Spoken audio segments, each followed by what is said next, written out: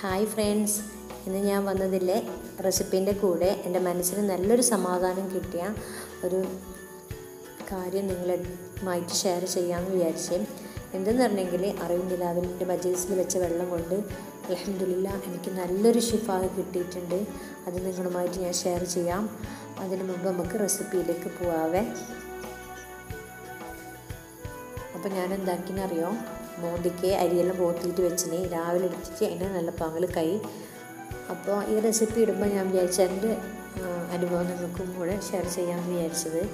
അപ്പോൾ ഞാൻ പത്തലിന് രണ്ട് കൊണ്ട അരി പോത്തിനത്. അപ്പോൾ രണ്ട് കൊണ്ട അരി അരച്ചെങ്കിൽ എനിക്ക് രണ്ട് മൂന്ന് ദിവസത്തേക്ക് പത്തലിന് മതിയാകുന്നു അപ്പോൾ ഇന്ന് ഈ പത്തലിന്റെ പിട്ടിന്റെ പിട്ട് എടുത്തിട്ട് ഞാൻ നോമ്പ് തുറക്കാനുള്ളൊരു സ്നാക്ക് റെഡിയാക്കുന്നുണ്ട് അത് നിങ്ങളുമായിട്ട് ഞാൻ ഷെയർ ചെയ്യുന്നത്. അപ്പോൾ ഞാൻ അരച്ചിട്ടെല്ലാം അതിന് ഇനി നമുക്ക് അമ്മിയെല്ലാം ഒന്ന് കയറ്റി വെക്കാം. അപ്പോൾ ഈ അമ്മി കവുക നല്ല ഈസിയാവേ അതിന്റെ പാത്രമെല്ലാം വേറെ തന്നെ എടുത്ത് കൊണ്ടുപോയിട്ട് കയറ്റെല്ലാം എടുക്കാം. കുട്ടിയും അമ്മയും എല്ലാം പാത്രം എല്ലാം കയറ്റി വേറെ വേറെ എടുത്തിട്ട് വെക്കാം കയ്യിൽ ഇനി നമുക്ക് ഞാൻ ചെമ്മീൻ മസാല മസാലവേ അപ്പത്തിനാക്കുന്നത്.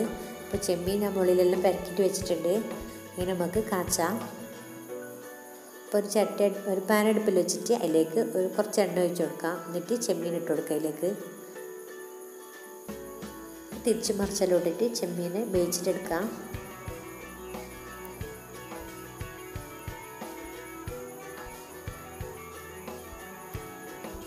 ഇപ്പോൾ ഇത് ഞാൻ കുറച്ച് പത്തൽ പിട്ടെടുത്തിനായിരുന്നു. അരച്ചെടുത്തുനിന്ന് കുറച്ച് പിട്ടെടുത്തിട്ട് അതിലേക്ക് രണ്ട് മൂന്ന് സ്പൂൺ തേങ്ങയും അര സ്പൂൺ ജീരകം രണ്ട് ചെറിയുള്ളി ഒരു വെളുത്തുള്ളിയുടെ അല്ലി കരിയാമ്പുക പച്ചമുളക് ഇതെല്ലാം മിക്സിന്റെ ജാറിലിട്ടിട്ട് നല്ല പങ്കൊന്ന് ചതച്ചിട്ടെടുത്തത്.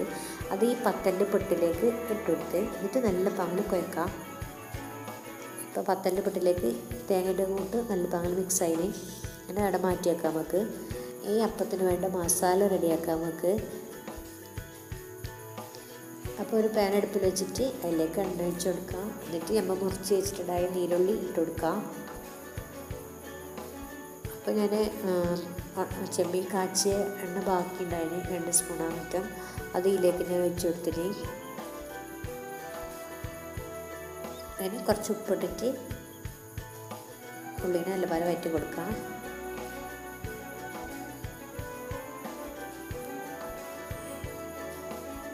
അതിലേക്ക് കരിയാമ്പലി ഇട്ട് കൊടുക്കാം.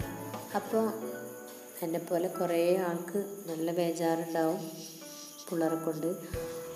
അപ്പോൾ അതുകൊണ്ട് ഞാൻ വിചാരിച്ച് എന്നെ പോലെ എല്ലാവർക്കും ആർക്കെങ്കിലും ഈ മജ്ലിസിൽ വെച്ച വെള്ളം കൊണ്ട് ഷിഫ കിട്ടുന്നെങ്കിൽ കിട്ടിക്കോട്ടെ വിചാരിച്ചിട്ടാണ് ഞാൻ അതുമായിട്ട് ഷെയർ ചെയ്യുന്നത്. ഇഞ്ചി ഇഞ്ചിയും വെളുത്തുള്ളിയും ചച്ചത് ഞാൻ ഇട്ട് കൊടുത്തതിലേക്ക് എന്നിട്ട് അതിന്റെ പച്ചമണം മാറുമ്പോഴത്തേക്ക് ഇങ്ങനെ വഴറ്റി കൊടുക്കാം. ഇനി എന്താക്കുക അറിയോ ഞാൻ ഈ തക്കാളി ഒരു തക്കാളി രണ്ട് പച്ചമുളക് മിക്സിയിൽ പാങ്ങൽ അരച്ചിന് അത് ഈ മസാലയിലേക്ക് ഒഴിച്ചു കൊടുക്കാം. എന്നിട്ട് അതിന്റെ പച്ചമണം മാറുമ്പോഴത്തേക്ക് അതിനെ വയറ്റി കൊടുക്കണം. ഇനി നമ്മൾ നേരത്തെ ചെമ്മീൻ കാച്ചി വെച്ചിട്ട് ആ ചെമ്മീനെ മിക്സിന്റെ ജാറിലിട്ടിട്ട് ഒന്ന് ക്രഷാക്കിയിട്ട് എടുക്കണം. ഇനി നമുക്ക് ഇതിലേക്ക് പൊടി ഇട്ട് കൊടുക്കാം. കുറച്ച് ഞാൻ കുറേ പൊടിയൊന്നും ഇടുന്നില്ല. മഞ്ഞൾപ്പൊടി കുരുമുളക് പൊടി ഗരം മസാലന്റെ പൊടി അത്ര ഇട്ട് കൊടുത്തിട്ടു. ഇതൊക്കെ വേണമെങ്കിൽ സോയാ സോസും ചില്ലി സോസെല്ലാം ഇട്ട് കൊടുക്കാം? ടൊമാറ്റോ സോസൊക്കെ ഞാൻ അതൊന്നും ഇട്ട് കൊടുക്കുന്നില്ല. അതെല്ലാം കൂടിയിട്ട് നല്ല പാൽ വയറ്റി കൊടുക്കുക അതിന്റെ പച്ചമണം മാറിയിട്ടാകുമ്പോൾ നമ്മൾ മിക്സിയിൽ ചതച്ചിട്ടെടുത്ത് വെച്ചിട്ടുണ്ടായ ചെമ്മീൻ ഇട്ട് കൊടുക്കുക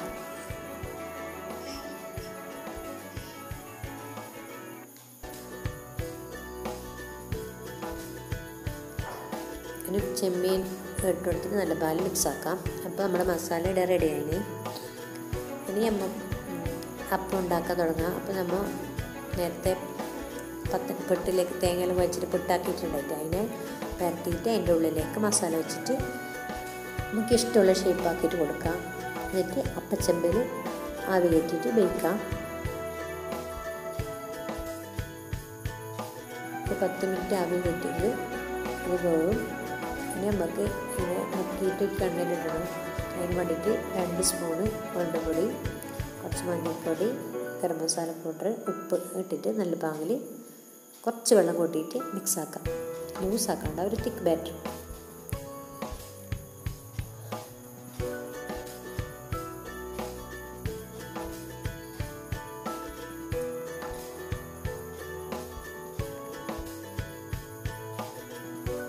ഇത് നമ്മൾ രണ്ട് റെഡി ആയിട്ട് ഇനി നമ്മൾ നേരത്തെ വേവിച്ചിട്ട് വെച്ചിട്ടുണ്ടായിട്ടേ. അപ്പം അതിനെ ഈ മുകളിലേക്ക് പെര പെരട്ട.